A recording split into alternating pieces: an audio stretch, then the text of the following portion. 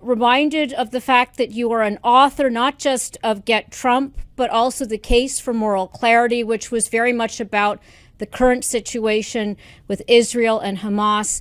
Let's start there. Do you feel like we've demonstrated moral clarity in terms of how we're viewing this conflict?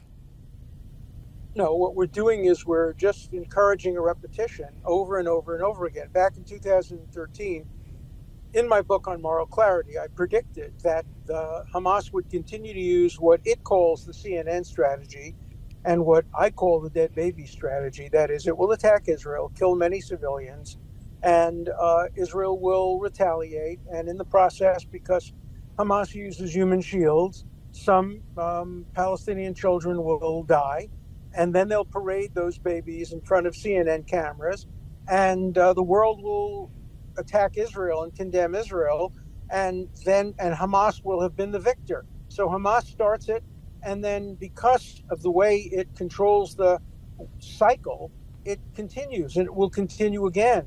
And if the CNN strategy continues, if the world just looks at these tragically killed children and and, and innocent people in Gaza and doesn't realize that they're all the fault of Hamas, that Hamas uses them as human shields.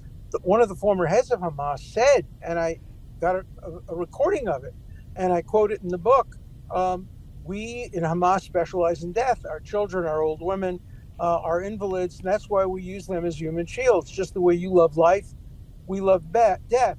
And so this is a tactic, a strategy you'd think that the media would understand it and not fall for it, but they become complicit in it. And I guarantee you, unless something relatively dramatic is done, this will happen again and again and again. The only thing different this time is it was much worse. In previous times, it was retail killing um, a Jew here and there, a house here and there, a school here and there.